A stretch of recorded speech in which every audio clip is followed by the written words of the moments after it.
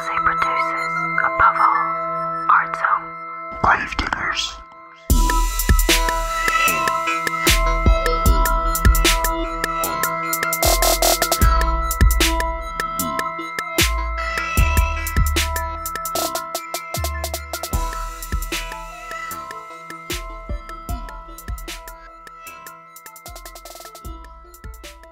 Hi, Hello, everyone. Welcome back to another episode of Das Criminal Podcast. Yeah, and this one is special because we're finally ending our long series about the Arab Spring. Yeah, we definitely might circle back in the future. So, reportedly, when asked his opinion about the French Revolution by visitors in Shanghai in 1972, Chinese Premier Zhou Enlai responded that it was too early to say. But unfortunately, that reported context is probably false. Zhou was likely referring to the French students' revolts in 68, but still, I feel like it's an apt way to describe our theses on Syria and the Arab uprisings. Too early to tell. Yeah, I think it's been, what now, 10 years, exactly 10 years, but it's still ongoing insofar as there has been no definitive conclusion. So it's hard to say what's going to happen next. Right. And even in the context of the French Revolution, I'm sure revolutionaries at first were like, aha, we got him. And then there was, of course, like Napoleon and then the Bourbon Restoration. And they were like, oh, damn. But like now, still, we regard it as like a pivotal moment in time for Western Europe, at least. Yeah, I mean, with, with the French Revolution, it's funny because they're now on what, their fifth republic? It's like, you know, if you fail, try and try again until you succeed. Hmm And by the way, friends, keep trying. You're not there yet. oh yeah, by by nowhere near there. So I've wanted to do this case for a really long time. Like I think it's actually been on our brainstorming list since like we started the podcast. And it might seem strange or even remissive to include a case heavily covered in Western media in our series on Syria. But still, I think it's imperative we use this case to sort of analyze that media coverage and how the uprising in Syria spiraled into an international crisis. And there are definitely more cases that we could look at in the future regarding the war in Syria, but at this time, we really just don't have enough information to give them the deep dive that they all deserve.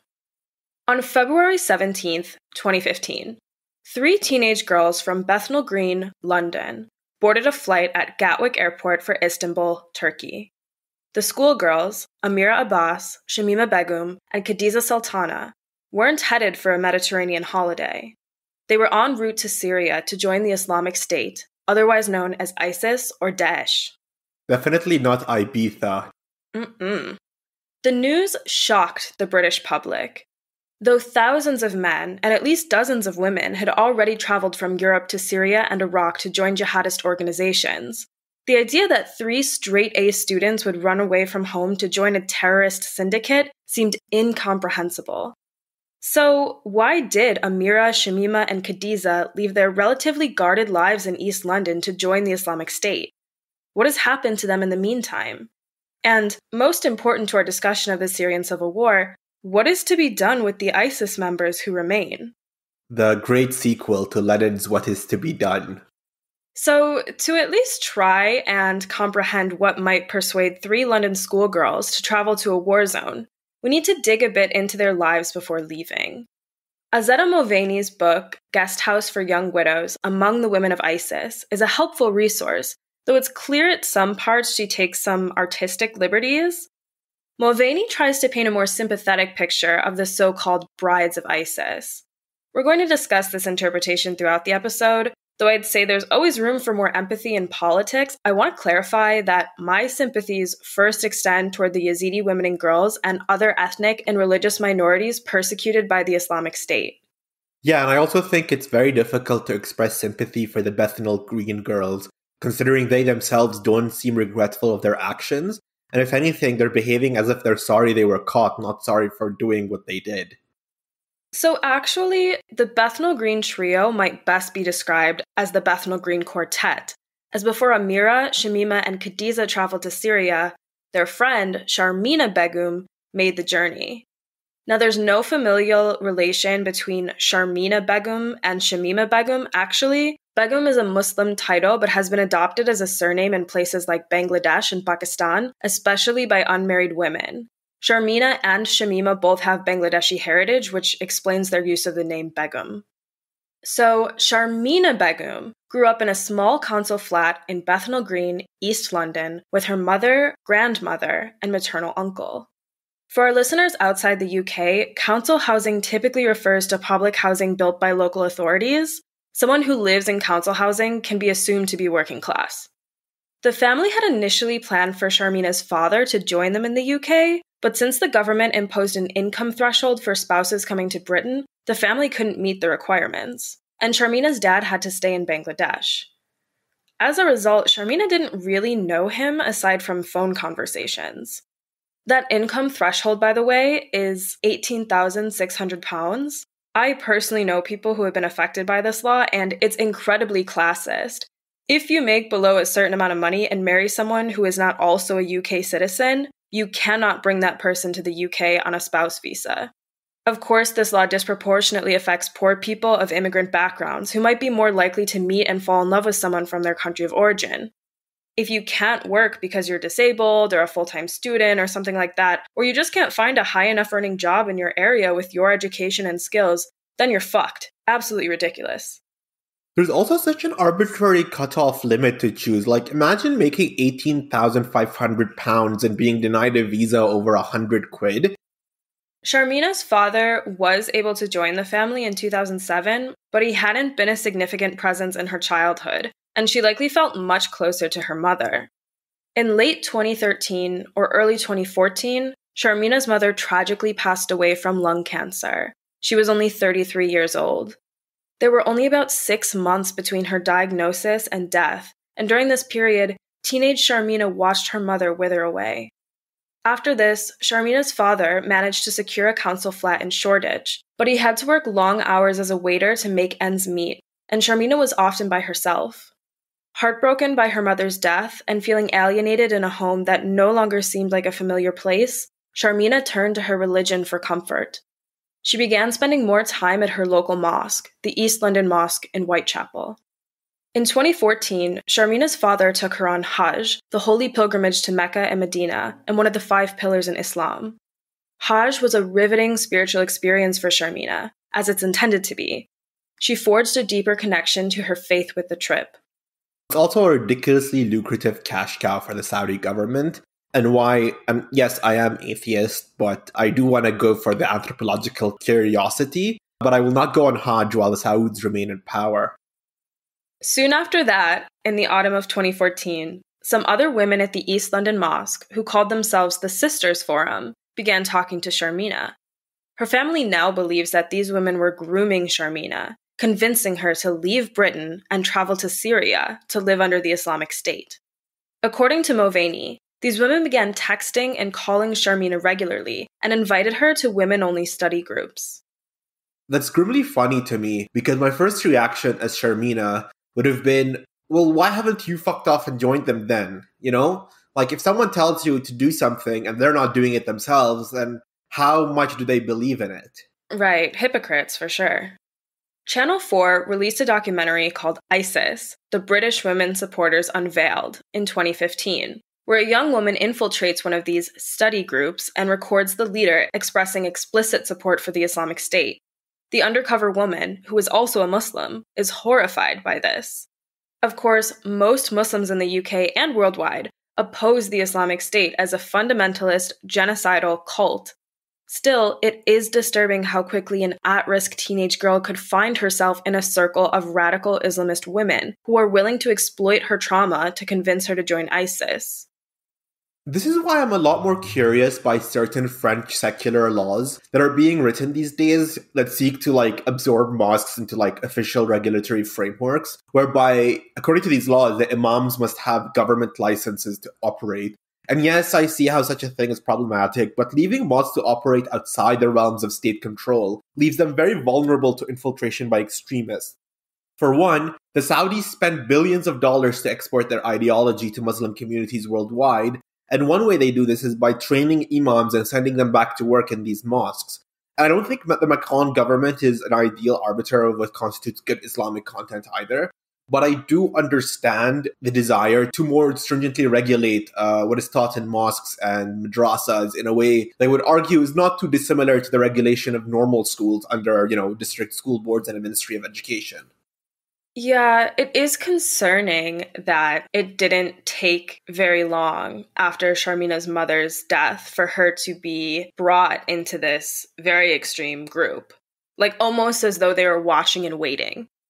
Yeah, and I think I don't I don't, don't want to say if there was more regulation of mosques this wouldn't have happened, but I feel like these groups sort of exist in these mosques and they exist for a long time and there's no there's no accountability, there's no, you know, supervision of any kind.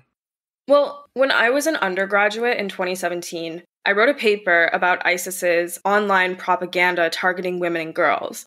And during my research, I was able to find fundamentalist social media accounts quite easily. And also to the FBI agent monitoring my online activity, please know this was for academic purposes and I have never thought about joining ISIS. But I'm going to quote from that paper to summarize how ISIS recruits women online. Quote Islamic State uses technology to draw Western women and girls to its territory. Women already allegiant to its objective of creating a reactionary Islamic caliphate in the Levant are at the forefront of this propaganda campaign.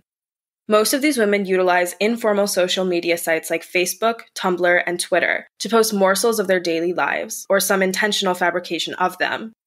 From there, they contact young women who show interest in these messages to persuade them to make the perilous journey to ISIS terrain and provide specific instructions on how to do so while avoiding detection. Though determining exactly which women and girls are most vulnerable to such cajoleries is difficult, indeed, even the most sophisticated government intelligence agencies in the world have been unable to recognize the risk factors for thousands of their own citizens until they have already departed. These women are at a specific experiential advantage. They have personally leapt from at risk to radicalized. Social media platforms attempt to remove the accounts of ISIS supporters, but the process bears an ugly resemblance to pulling weeds. One can remove the undesirable plant, but unless every seed is destroyed, more weeds will appear. Each time their platforms are shut down, the women of ISIS find a new and less detectable means of disseminating their propaganda. At the time of writing, November 2017, our preliminary English language internet search will not uncover any of these accounts. However, it will retrieve the pseudonyms of well known female ISIS recruits as they are mentioned in news articles. By simply translating these names into Arabic and entering them back into the search engine, specifically Google, I was able to access hundreds of social media pages that at first glance may seem innocuous, but actually represent the first step of a young woman's indoctrination into the Islamic State.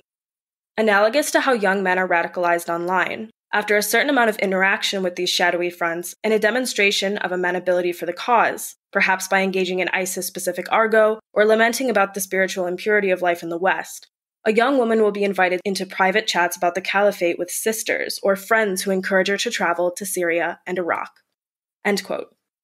If you're interested in reading the whole paper and looking at the screenshots I took of these social media pages, we'll put them on the podcast Patreon page. But to synopsize, it took me about an hour of looking around on Google to find Facebook pages geared toward women and girls expressing support for ISIS. An hour.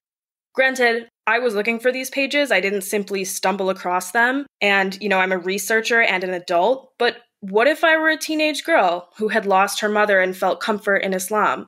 Would these pages have looked appealing to me? What if some women just a little older than me had started inviting me to study groups at the mosque? What if they became my friends and I trusted them? Also, I wonder what role the Facebook algorithm played in this. I mean, you know, like we all joke about Big Brother and all that and Skynet. And, you know, we've had instances where, say, for example, I'm talking into this mic right now and I say, gee, I've been looking for shoes lately. And suddenly everything in your phone, all the ads are for shoes. What if Sharmeena is engaging with Muslim content and the cyclical nature of targeted advertisement would mean that they would be exposed to more and more Islamist content through this targeted advertising that may pave the way to more extreme sympathetic pages. I think people have definitely done studies on the YouTube algorithm where if you search something that might seem innocuous, like, why is feminism bad? Within four clicks, you'll be in like an extreme Nazi page. Oh yeah, I mean, yeah, I've, I've definitely had that where like it vomits out very specific targeted advertisement. And I think, you know, the methods by which Nazis and Salafists are radicalized online are quite similar. All of this being said, I think we can look at clues as a way to explain why Sharmeena left London to join ISIS, but they just don't justify what she did. I mean, there is, in my opinion, a crucial distinction between a reason and an excuse. Plenty of teenage girls rebel or act out, I know I did, but there is a colossal gap between, say, skipping school or dressing outrageously and joining a terrorist organization. We're going to discuss this more toward the end of the episode. Sharmeena began following the Tumblr account of a young woman named Aqsa Mahmood, who blogged under the nickname Umm Laith. Aqsa had left Glasgow about a year earlier for Syria and began posting online about her life in the caliphate. This is just tangent, but it's so funny to me when converts, or in this case diaspora Muslims, get like really into being Muslim to the point of adopting a kunya. And a kunya is basically the Arabic honorific denoting an individual's children or parenthood. So like Abu X means father of X and Um X means mother of X. So in this case, Um Laith means mother of Laith. And like, you know, are their names not good enough for them? You don't have to change your name when you convert to Islam, by the way, just just a heads up. Yeah, it is a bit of a weird thing, and also not something that I usually associate with a woman in her 20s. Yeah, definitely. Something that, like, I'll be like, oh, this is a 60 year old from, like, you know, uh, a village in Bahrain or whatever, not like a Glasgow girl. Yeah, like Abu Musa, the collaborator. Yeah. The Bethnal Green girls' families would later say Aqsa Mahmood was instrumental in radicalizing their daughters and convincing them to move to Syria. Reading Aqsa's blog posts, one in particular stands out to me. Aqsa writes about missing her mother, something Sharmeena Begum, still grieving her own mum, could relate to. Quote, I miss my mother, and I want this to be a reminder to all of you to recognize the worth and value of your mother, because once you lose her, nothing will be the same again. While most of you can still see your mother's smile, I cannot anymore. While most of you can still put your head on your mom's shoulder, I cannot anymore. While most of you can still call out to your mother when you feel pain in your body, I cannot anymore. While most of you can still go and have that heart to heart talk with your mother, I cannot anymore. End quote. And I want to point out, I'm pretty sure Aqsa is talking about missing her mom because she moved to join ISIS. I think her mother is alive. That's funny. That's actually fucking hilarious. Right.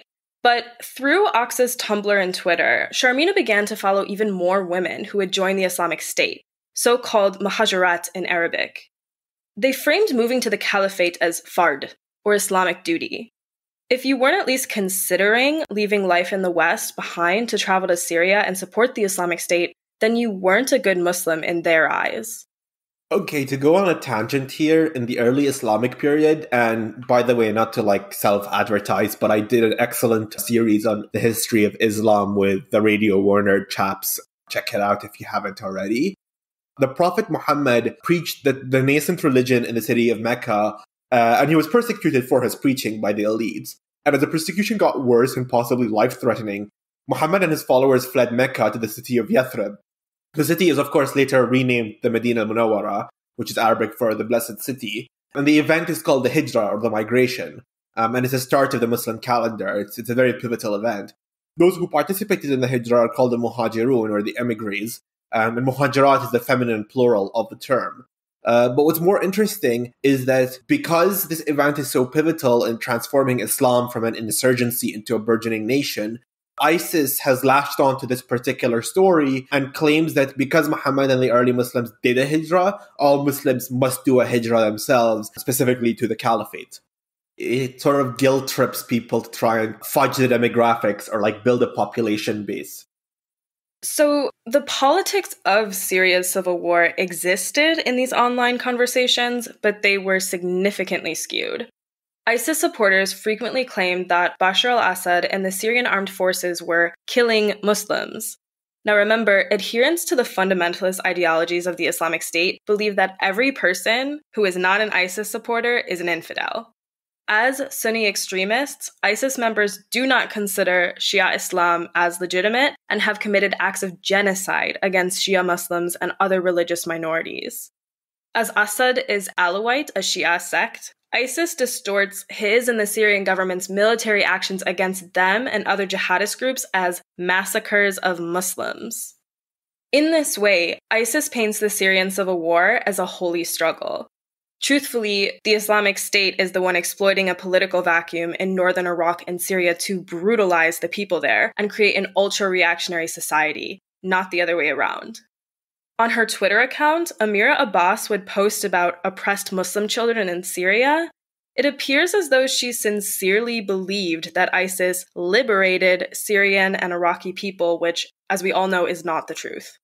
Sharmeena apparently absorbed this propaganda as well, as at one point she defended the Islamic State to a teacher at Bethnal Green Academy. But the teacher never reported to anyone that Sharmeena might be in danger of radicalization.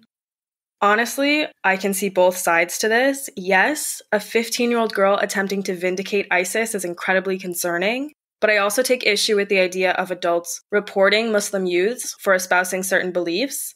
I just fear teachers could use this reporting mechanism to weaponize the state against, for instance, Palestinian students who vent opposition to Israel, or Black students who vocalize a hatred for cops. Lots of poor, working class, and people of color fear social services for this reason. Any perceived problems at home could severely disrupt a family's life or even see children separated from their parents. I just think we should be extraordinarily cautious of expanding the state's power to surveil and police the lives of Muslim youth. In Sharmeena's case, we now understand there was a lot more going on behind the scenes, but I don't think pressuring teachers to inform on their Muslim students is the right move. Yeah, I completely agree with the hesitation uh, because what sort of intervention would the state conduct if Sharmeena was reported? Because it's extremely difficult for me to see this British state as it currently is engaging is in any meaningful empathetic form of de radicalization, and anything like detaining her would just compound the problem and also violate her human rights. And this is something I struggle with in general, like the idea of reporting or punishing people for expressing some personal sympathy to an ideology or expressing some disdain for a particular person. Like, if I said that I hate Henry Kissinger, right, and I say that personally, I say that I wish he would. Should I be reported for intending harm on him? And if that's the case, what should be an appropriate reaction by the authorities to that? Yeah, it's a complicated question. And again, it's a hindsight is 2020 situation. And I also don't think putting everything on this teacher and saying, why didn't you report? Like, okay, that is just one domino in a line of dominoes falling down here. Oh, yeah, absolutely. Sharmeena, Amira, Kadiza, and Shamima were good friends. They all attended Bethnal Green Academy, a predominantly Muslim school. According to their families and teachers, all four girls were conscientious students and popular among their peers. But at home, things weren't improving for Sharmeena. Her father remarried in the autumn of 2014. Kadiza attended the ceremony as Sharmeena's guest. Her father's new wife only spoke stilted English, and as she moved into the East London flat, Sharmeena felt even more like a stranger. Watching her father remarry less than a year after her mother's death must have been really hard for Sharmeena. And to be honest, it sounds like she really needed him and he was not there for her. It doesn't excuse joining ISIS, but I do feel awful for Sharmeena at this point. Some reports say that Sharmeena was living with her grandmother rather than her father after he got remarried. We don't totally know her family's circumstances. If my mother passed away and then my father quickly remarried and either wanted me to live with my grandmother or didn't seem to care either way, I would be absolutely devastated. This isn't to say that Sharmeena's father is to blame for what happens next. He isn't but I can really empathize with how Sharmeena probably felt emotionally neglected by him. By December of 2014, Sharmeena was planning her move to Syria. She asked her grandmother for some of the money the family had been given around her mother's death, and her grandmother, none the wiser to how Sharmeena had been radicalized online and at the mosque, gave it to her. Sharmeena and her three best friends, Amira, Kadiza, and Shamima, went shopping for supplies like cold weather gear before Sharmeena's departure suggesting that the other three were aware of her plan. Sharmeena purchased a round trip ticket to Turkey.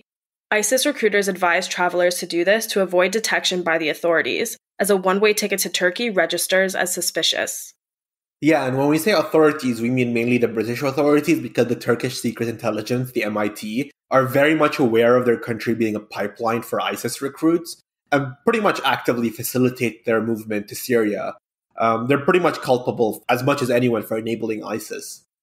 That same month, December of 2014, Sharmeena Begum left the United Kingdom and headed to Syria via Turkey. The former schoolgirl made it all the way to the Caliphate, where, two weeks after her departure, she called her father to tell him she was never coming home. When he hadn't heard from her in a day or two, Sharmeena's father called her cell phone. It connected him to a message in a language he didn't understand, and he called the police. This language was Turkish. Sharmeena was on her way from the airport in Turkey to be smuggled into northern Syria. Sharmeena's father and the police began connecting the dots and realized it was likely Sharmeena had left the United Kingdom to join the Islamic State. Sharmeena's father asked her friends if they knew anything about her disappearance, but they denied it. Whatever Sharmeena had done, they said, she had done on her own. Meanwhile, teachers and administrators at Bethnal Green Academy were likewise concerned that Sharmeena's friends had some knowledge about her radicalization and disappearance. They called Amira, Kadiza, Shamima, and four other girls to the office to meet with counterterrorism police. These police officers gave the girls letters to give to their parents so they could interview them about Sharmeena's journey to the Islamic State. Amira, Kadiza, and Shamima just pocketed these letters and told their parents nothing. Bethnal Green Academy informed the girls' parents that Sharmeena had gone missing, but they said nothing about the Islamic State or suggested that Amira, Kadiza, and Shamima might follow their friend. In Sharmeena's case, one could argue that a vulnerable girl who lacked a stable home life and support system fell through the cracks. But this is not so true for Amira, Kadiza, and Shamima. There were signs of the girls' plans to leave the United Kingdom leading up to their departure, the most glaring one being Sharmeena's disappearance before them. But the adults in their lives don't appear to have made a sincere effort to prevent their radicalization. There's a short Vice documentary you can watch on YouTube. It's just over 20 minutes long, titled The Girls Who Fled to Syria Groomed by the Islamic State. The video features Amira Abase's parents, who say they had no idea their daughter planned to run away and wonder why she would leave her life in the UK to join ISIS. I do find it interesting how the most likely demographic for radicalization is always second generation emigres, either those born in the new country or those that migrate at a young age. And in a way, it's never the first generation because, like, you know, the dads and moms may be somewhat religious, but they actively seek to immigrate to Germany or the UK or the US or Canada. But their children, on the other hand, experience an existential crisis of sorts where they feel like they don't belong in the new country and latch onto an idealized version of their culture that may or may not be reactionary. And then that fuels their desire for a sort of return to their roots. Right. A romanticization of the homeland. Yeah, exactly. Amira's father later came under media fire as it surfaced that he had attended a rally in 2012 protesting the film Innocence of Muslims. The rally was organized by Anjem Choudary, a notorious Islamist extremist in the UK who later served time for supporting the Islamic State. In 2013, her father took Amira to a rally outside the Saudi embassy in London to protest the violent expulsion of Ethiopian migrants from Saudi Arabia. Amira's father is a refugee from Ethiopia. Amira would have been aware of politics from a young age and how her family's identity as Ethiopian British Muslims shaped their lives. Many observers point to these protests as a radicalizing factor for Amira. I'm sure being present at events with fundamentalist preachers primed Amira for absorbing Islamic State propaganda as a teenager, but I don't think this ultimately explains why Amira left London, especially since her parents seem as though they were genuinely unaware of her intentions and wish she hadn't run away. I think there's actually a hidden clue in that short documentary that doesn't get enough attention. At one point, Amira's mother insists that she didn't neglect or disregard her child, unlike possibly Sharmeena Begum's father. In fact, Amira's mother says she and Amira, and it appears the other siblings as well, shared a bedroom in the family's cramped council flat, and she kept a close eye on her daughter. So, with this information, I don't think Amira felt abandoned by her family at all. I think she felt suffocated by them. What teenage girl wants to share a bedroom with her mother? I think that at school, Amira had teachers telling her that she was intelligent and capable of handling adult responsibilities, like preparing for difficult exams, maybe. But at home, she was sheltered by conservative religious parents. Yeah, thankfully I had my own bedroom growing up, but my mom felt free to walk into my room at any time without knocking, which genuinely got me mad, and so I understand the resentment that results from, you know, not respecting a teen's space and privacy. And, you know, some limits are good, kids do need attention, but suffocating them and not respecting their space does cause an equal and opposite reaction, as we see here. Right. And I was once that teenage girl who felt like I handled my responsibilities well and I achieved straight A's in school, but I still had limits placed on me by my parents, like curfews and constantly wanting to know my whereabouts, you know, pretty typical teenage stuff. But at the time, I resented it so much and would go out of my way to do adult things like wearing clothes I knew my parents thought were too grown up for me. And like, this isn't a unique experience by any means. Lots of teenagers rebel against their parents and, you know, resent being given responsibility without independence. I think this is how Amira and possibly Kadiza and Shamima felt. But of course, leaving London and joining the Islamic State is an extreme way to assert their independence in adulthood. But I don't think we can discount this as a factor in why the girls made the journey. And actually, one of the ways groomers lure teenage girls into their clutches is by saying things like, You're so mature for your age, your parents don't treat you fairly, they should recognize how grown up you are. And I think this is precisely what happened in the case of the Bethnal Green girls. Azadeh Moaveni writes in Guest House for Young Widows that an examination of Amira's social media demonstrates that she was on a clear path to radicalization. Quote, any counterterrorism investigator reading Amira's Twitter account in December 2014 would have immediately realized what was going on. A series of interests, inferences, and views that, taken in combination, reflected a teenager being cultivated by savvy recruiters with one foot out of the door to Syria. Each post and tweet and image was a snapshot of her state of mind. I am getting political and pious and confused between the two. I am suddenly preoccupied with death and the afterlife. My interpretation of my religion is disturbingly narrow. I am looking to learn Arabic. I am admiring jihadi scholars whose work I cannot hope to understand. I am in love with the idea of a handsome jihadi husband. I am in love with the idea of being in love. I have yet to see a jihadi that is handsome, so that's a bit of an anachronism right there. Moaveni continues. Anyone reading her Twitter account would have also been reminded that she was still a British child. Vans, yes or no? No. Chelsea Forever, chocolate waffles, revision is killing me. This is Westfield Mall right now. Picking your A levels is the hardest thing ever. My new socks are so nice, I want to cry. A photo of a tower of highlighter pens that she and Kadiza built together while studying. Anyone reading her Twitter account would have seen her announce, in late January 2015, her imminent departure. A selfie of her feet in black converses, wearing flowing black robes, with the caption, waiting, dot, dot, dot. End quote. Like Sharmeena and Amira, Kadiza Sultana didn't have a picture perfect home life. She lived with her older sister and her mother, who was in ill health. Kadiza was a bright student and, according to her family, not noticeably concerned with politics prior to her radicalization. Shamima Begum, now perhaps the most infamous of the group, was actually the quietest. Her family recounts that she performed well at Bethnal Green Academy, and as a result, they felt no reason to fear for her welfare. Shamima began wearing a headscarf in year 10, when she was 14 or 15 years old, at her mother's request, suggesting her family is religious to some degree.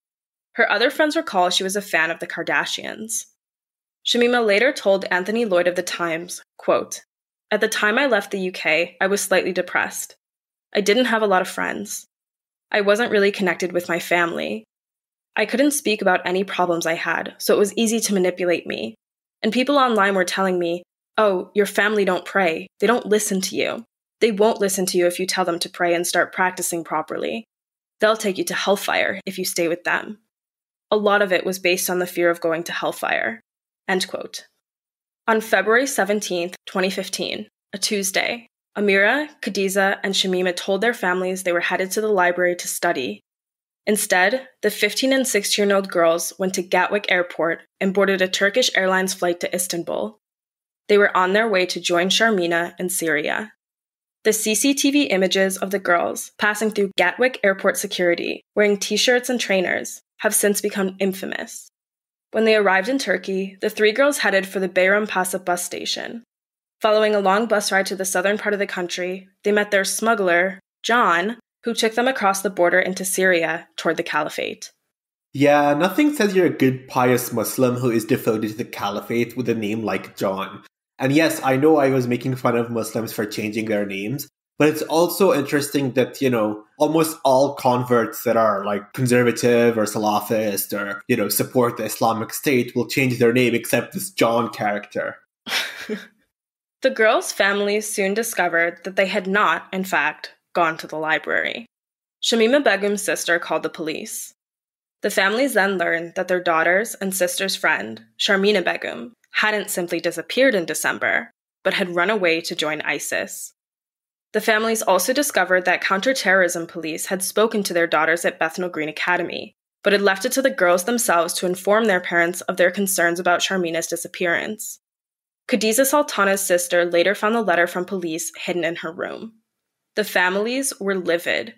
How was the school and law enforcement aware enough of this risk to speak to the girls about their friend, but not concerned with alerting their families about the possibility of radicalization?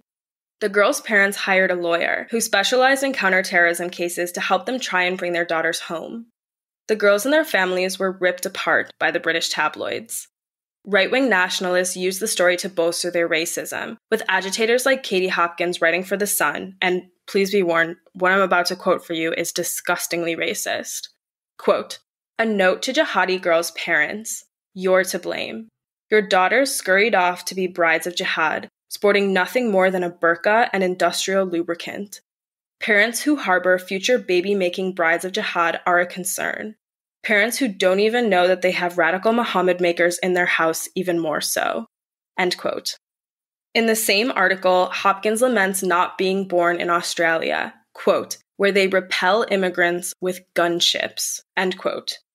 This is the type of absolutely horrid racism published in rags like The Sun, Regardless your thoughts on the Bethnal Green girls, Hopkins' outright revulsion toward immigrants and brown people should make your skin crawl. Gee, Katie, I wonder why Muslim women would feel alienated in a society that gives you a platform to spew your racist bile. Hmm.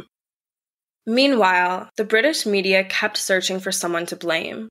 It was the parents, the school, the mosque, the internet. By trying to pinpoint a single cause of the girls' departure, they missed the big picture this was a systemic breakdown. The girls made an appalling decision, yes, but there were a lot of factors that went into that choice and the failure to prevent them from making it.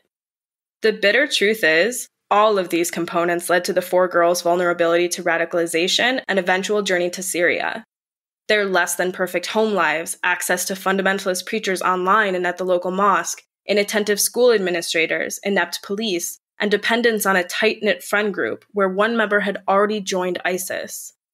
As such, we must take a community based approach to combat religious extremism.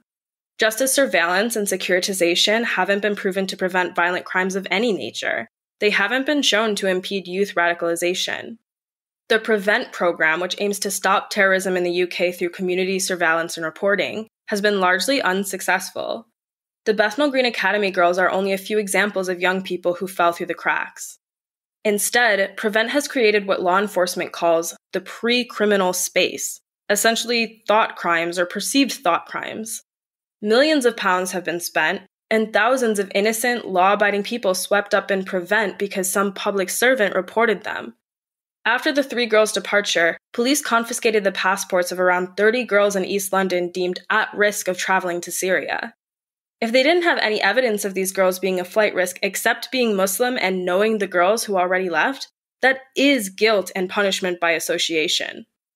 CAGE, a grassroots organization working to end the oppression and injustices born out of the war on terror, instead recommends a community based anti radicalization framework that 1. addresses the root grievances from which violence draws strength, 2. counters disenfranchisement and alienation that hinders communities from organizing for their betterment, and 3 dismantles the repressive policy architecture established by Prevent and Counterterrorism.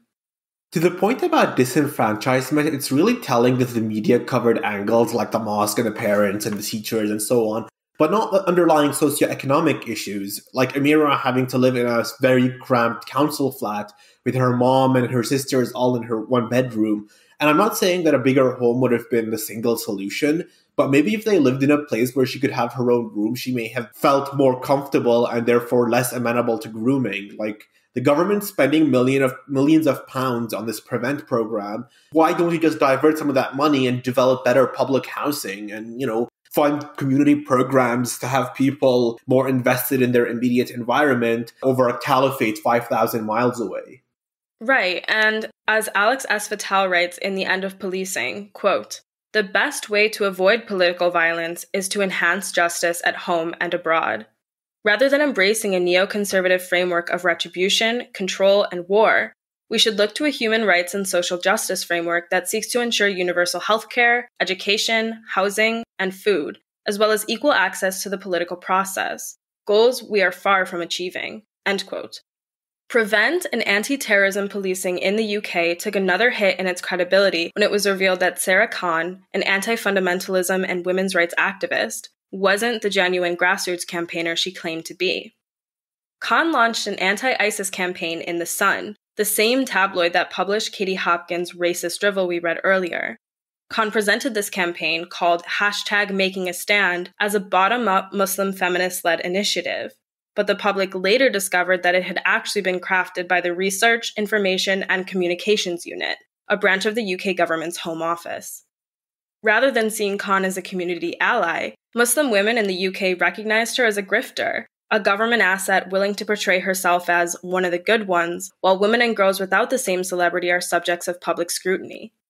Meanwhile, Sharmeena, Amira, Kadiza, and Shamima were still in Syria, and their families and communities were looking for answers about their safety. Kadiza Sultana's sister managed to contact her and begged her to come home, saying that she would not be in trouble with the authorities. Kadiza replied, They're lying.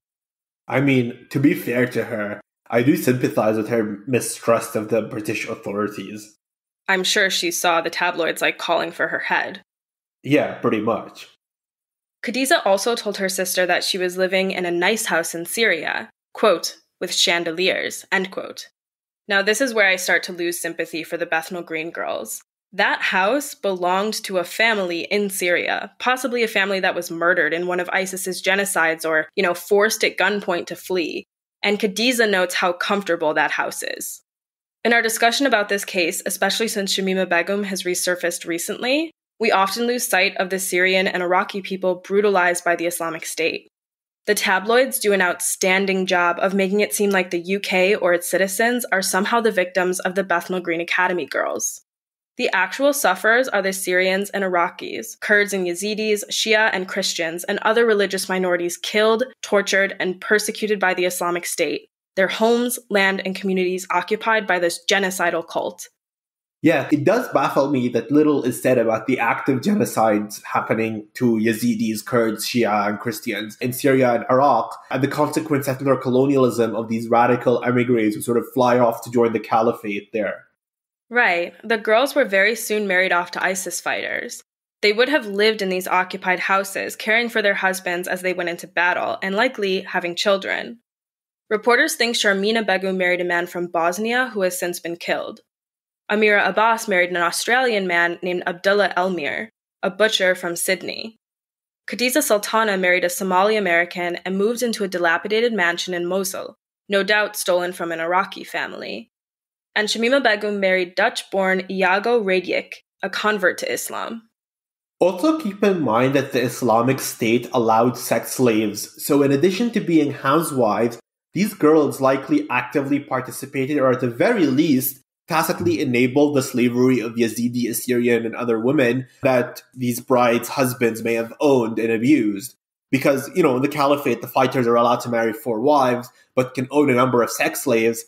And if you have sex slaves in your in the same house as your wife, I'm sure your wife must participate in enslaving those people or even domestic slaves. Yeah, exactly. Like, as in forcing them to do all the chores. When I was in Jordan in particular, there was a massive problem where a family basically, the man would take a refugee girl as a quote unquote second wife.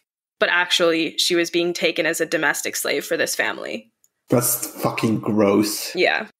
On June 26, 2015, the Islamic State attacked beach tourists at the Port El Kantaoui resort in Tunisia.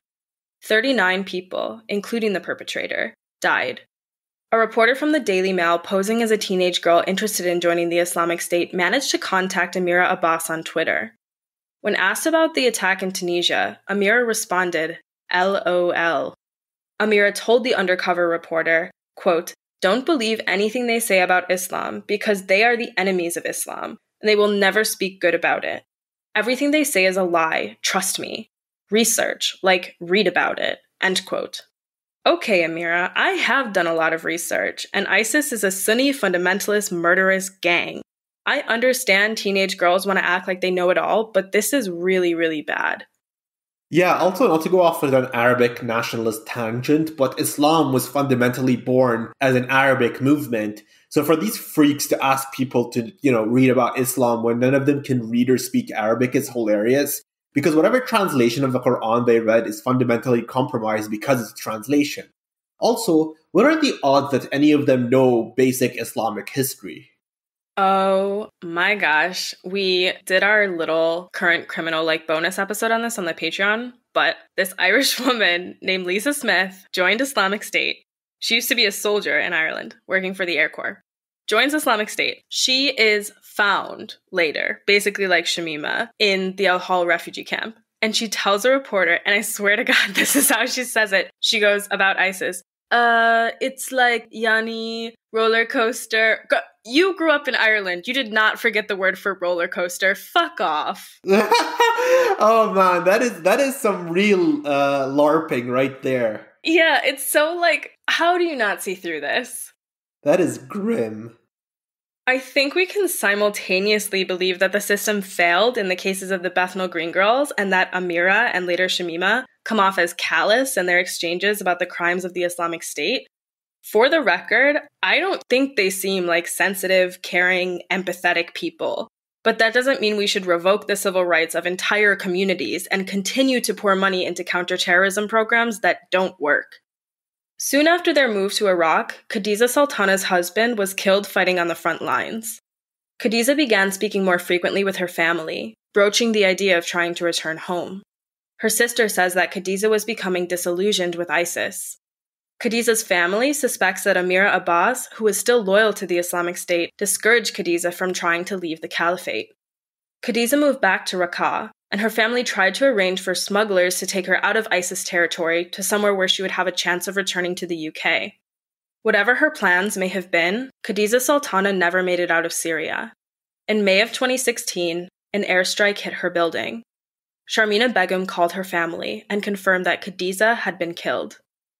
After Kadiza's death, news about the Bethnal Green Girls pretty much dried up until February 13, 2019, when the Times correspondent Anthony Lloyd found Shamima Begum at the SDF controlled Al Hol refugee camp in northern Syria. The story was sensational. At this point, Shamima had been in Syria for nearly four years. As someone who had followed the news about the Bethnal Green Girls in 2015, I was shocked that she resurfaced after such a period of silence. According to Shamima, she lived in Raqqa until the SDF captured the city. She then fled several times and was in the last ISIS stronghold of Baghouz before she left and ended up in the camp.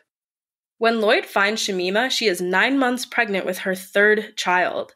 She tells him that her previous two children died from illness and malnutrition as they moved from place to place with the shriveling Islamic State. Her husband, Dutch convert Yago Riedijk, was captured and, as far as I can tell, remains in prison with other ISIS fighters. Now, Shamima does not come off well in her initial interviews with reporters. She tells Anthony Lloyd that she lived a quote unquote normal life in Raqqa overall. She also says, quote, I saw a beheaded head in the bin. It didn't phase me at all, end quote. Very cool. Yeah. She tells more than one journalist that she doesn't regret joining the Islamic State, but she wants to return home to the United Kingdom. She is most concerned about the safety and upbringing of her child. Going back to my earlier comments, it's hard to sympathize with someone who is so callous and obviously harbors no regrets for their behavior, their actions, and so on. Yeah, at this point, Shamima Begum is still deep into the ideology of the Islamic State and seems disappointed that the caliphate failed, but not disturbed by the crimes they committed against other people. A BBC reporter recalls, quote, When I asked her about the enslavement, murder, and rape of Yazidi women by IS, she said, Shia do the same in Iraq. End quote. That is not true, by the way. Shia do not do the same in Iraq. Also, what fucking excuse is that? Even if they did, and let me be clear, they don't, what does that have to do with enslaving Yazidi women who are, first of all, decidedly not Shia? And also, imagine doing a genocide and we're confronted, you're like, yeah, well, the Nazis did the same to the Jews in Germany. Like, that doesn't make it okay. Yeah, I want to empathize with Shamima here. I really do, but it's so difficult to watch her unemotionally recall her experience with the Islamic State, even defend genocide and feel sorry for her. Like, I just, I can't yeah, I can't either. Yeah. Yeah. She seems aware of and yet indifferent toward the crimes ISIS committed against other people, particularly religious minorities. And it's really hard to feel for someone and the trauma they've been through when they appear to lack compassion for others. Perhaps Shamima Begum was brainwashed before and during her four years living under the Islamic State. In fact, I'd say this is likely. But we're talking about the slaughter of religious minorities here. At some point, people must be held accountable.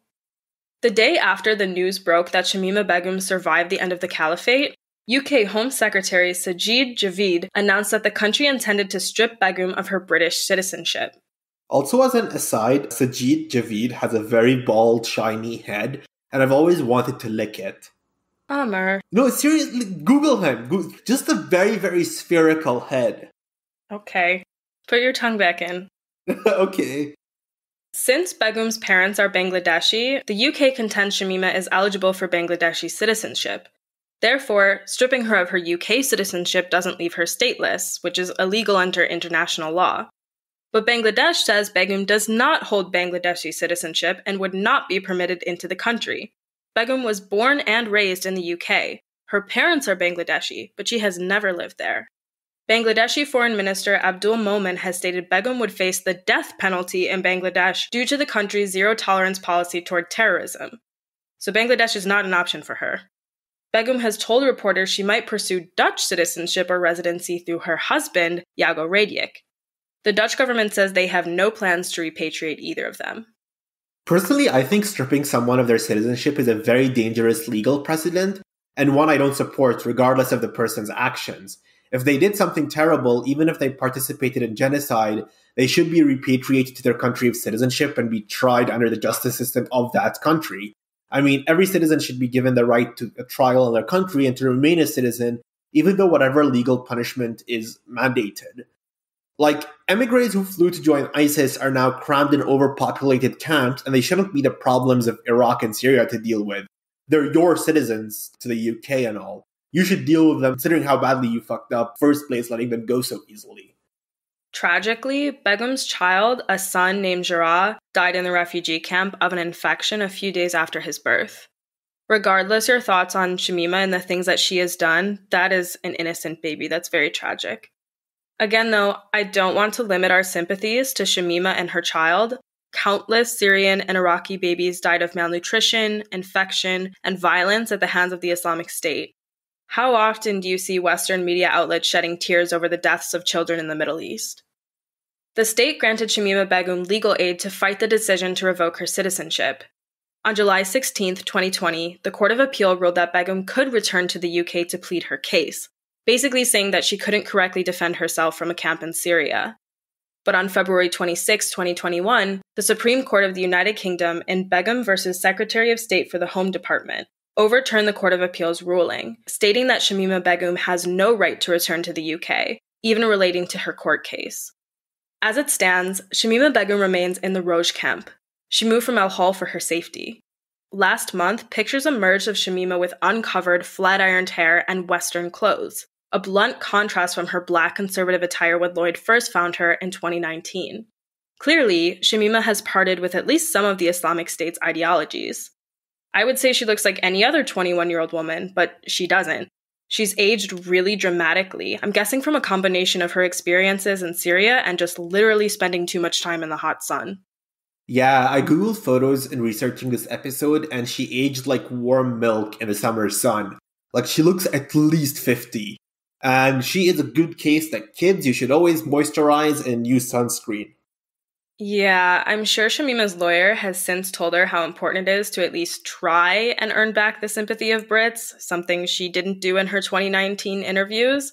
But that doesn't necessarily mean this change is genuine. I mean, even if it is, it comes about two years too late for Shamima. Yeah, I mean, it's hard for me now to determine if she's genuinely changed or if she's just playing her odds in terms of the British justice system. I mean, I'm not scared of Shamima Begum. Like, if I found out she lived in my building, honestly, I'd be like, damn, that's really weird. okay. I don't know. I just, she's a fucking 21 year old. Like, I could take her. yeah, I think I think you could take her. Like, I'll put my money on you. To be fair. But we still have to address a few questions. The first and most conspicuous being what should happen to Shamima Begum and other foreign jihadists who join terrorist organizations like the Islamic State. My biggest issue here, and the reason I wanted to include this case in our series about Syria, is that in discussing what we should do about Shamima Begum, we've almost entirely decontextualized her actions and the actions of those like her from the conflict in Syria and Iraq, and most crucially, the violence committed against those communities. The British tabloids and Home Secretary have somehow managed to make the citizens of the United Kingdom the victims of Shamima Begum, as though she and her friends betrayed them when they left the country. But there are real victims and survivors of the Islamic State in Syria and Iraq, the people whose homes were stolen and occupied by the likes of Shamima Begum, and whose enslavement, torture, and murder didn't seem to register on Begum's emotional thermometer. Has anyone even considered justice for those people, like the Yazidis? On the topic of repatriation, have we thought about how there's a media frenzy around one girl while hundreds of thousands of people have died and millions more are refugees whose communities have been destroyed? Syria is not your jihadist playground. An uprising is not your cue to found an experimental caliphate on the genocides of religious minorities. Additionally, Shamima Begum was a minor when she was groomed in the United Kingdom and left for Syria. Should that factor into our analysis of this case? I think we should generally consider age and other factors of vulnerability when discussing crime and accountability. I believe in second chances so long as someone demonstrates genuine remorse and willingness to change. That being said, I'm not sure Shamima Begum has shown compassion for the victims of ISIS, which really, really worries me. I have noticed a tendency among some on the left to demand forgiveness and rehabilitation for people, and especially young people, who cause harm, up to and including murder. But some of these same leftists will vilify people who said harmful or problematic things in the past, even if those people have apologized and taken steps to atone for the harm caused. You can't have it both ways. Either we accept that people can change or we don't. Yeah, for some people, saying the N word in like 2011 when you're 14 is apparently worse than joining ISIS. I do genuinely believe that Shamima Begum and her friends are victims of grooming, and also that they need to be held accountable for living in houses stolen from people. People who were probably murdered, by the way. Oh, yeah. Regarding the revocation of Shamima Begum's citizenship specifically, I think it sets a dangerous precedent, as Amr said before. First, the UK wouldn't have even been able to take this action if Shamima Begum didn't possibly have a claim to citizenship elsewhere through foreign parents. That is, if she had an entirely British family background, revoking her citizenship would make her stateless and therefore could not happen. Furthermore, I fear what this ruling means for Brits with dual citizenship or foreign born parents. It sends the message that if you step out of line, the government could cancel your citizenship, in this case, we might agree with the reason, joining a foreign terrorist organization, but what about people in the north of Ireland, for instance, who all have the right to hold Irish citizenship? Should the UK remove their citizenship if they engage in anti government political activities? Yeah, also, it's a very sleazy way to offload a country's problem, in my opinion. And in this case, basically dump these freaks onto Iraq and Syria to deal with, like, the basic aspect of modern statehood is being responsible for your citizenry, and that responsibility doesn't just end uh, or arbitrarily be curtailed for any particular case. Yeah, and Shamima Begum can't stay in the refugee camp forever. I mean, I guess actually looking at how long has it been since the Nakba? Like 73 years? Maybe she fucking can. Maybe they're gonna make eternal refugees out of these people, but like, they shouldn't. Yeah, I mean, it's not for lack of trying, let's say that. Questions also loom about Sharmeena Begum and Amira Abase. Their whereabouts are currently unknown to the public, at least. Shamima Begum says she last spoke to them a few years ago. I think there are a few possibilities, keeping in mind they probably didn't meet the same fate as each other. First, they died in an airstrike or during the fighting, or of starvation or illness while fleeing. This is the most likely scenario, in my opinion. Second, they live in camps or prisons somewhere without disclosing their identities, possibly fearing they'll be targets of the same media criticism as Shamima Begum. Like, if I were them and I saw what happened to her, I would tell fucking nobody who I was. Yeah, that's very understandable. Yeah. And third, they quietly returned to the UK, and their families and the authorities have kept this information private to avoid public backlash. But I think that's very unlikely. But I wouldn't say it's impossible. Yeah, I think I personally believe that they died uh, during the fighting, but that's just my personal theory. Right. Or like one died, one could maybe be alive in a camp somewhere, you know? Yeah. They're probably not, I mean, if they're dead, they're dead, but I highly doubt they're like together. Yeah, I think it's too late for them, you know, to be identified as such now. But that is the full story of the Bethnal Green Trio, which is actually the Bethnal Green Quartet. Yeah, I hope you guys enjoyed this. If you liked our episode, please do rate us and subscribe. And it will really help if you tell your friends and your enemies and your local mosque and so on, and your study group and everything. Right. Speaking of the radicalization algorithm, please rate us and review us on Apple Podcasts to like drive us up. Yeah, please. We we do appreciate that. We do have a Patreon page. It's patreon.com slash dascriminal. And we have a new subscriber this week. So hello to Adrian Alder. Hi, Adrian. Yay! Thank you. We have a bonus episode about the Hillsborough Stadium disaster that just went up. We have the thing about Lisa Smith that just went up. I will post my paper on the women of ISIS, including screenshots for our patrons. So that's exciting. She's got the tea, folks. She is spilling mm. the tea. Mm. And also send us your feedback and your requests. We like hearing from you guys. And since we're ending the Arab Uprising series for now, we want to do other stuff. Yeah, yeah. So please let us know. We've been working on a case probably for what, Amr, like two weeks from now. And every day my voice notes to Amr about it are getting more unhinged. So please send us more ideas. Yeah, she's becoming a full on crank. It's actually kind of amusing to watch. Yeah. But thank you guys so much for listening. Yeah, have a good one, everyone. Bye. Bye.